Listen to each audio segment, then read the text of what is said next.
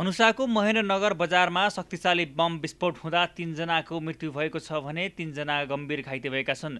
गैराती भएको बम विस्फोटमा छयालिस वर्षका राजेश्वर शाह र उनका चौबिस वर्षीय छोरा आनन्द शाहको घटनास्थलमै मृत्यु भएको हो।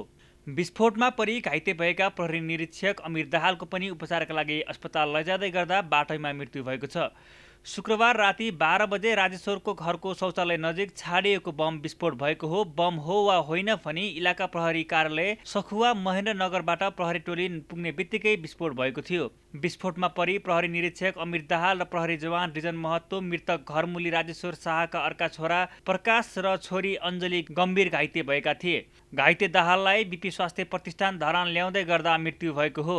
अन्य तिनजनाको धरानमै उपचार भइरहेको छ। घटनामा अन्य दुईजना सामान्य घाइते भएको बताइएको छ। घटनाको अनुसन्धान सुरु गरेको प्रहरीले जनाएको छ। यसका लागि तिनजनालाई पक्राउ गरी अनुसन्धान सुरु गरेको प्रहरीले जानकारी दिएको छ। घटनास्थल इलाका प्रहरी कार्यालयबाट चार सय मिटरको दूरीमा पर्छ।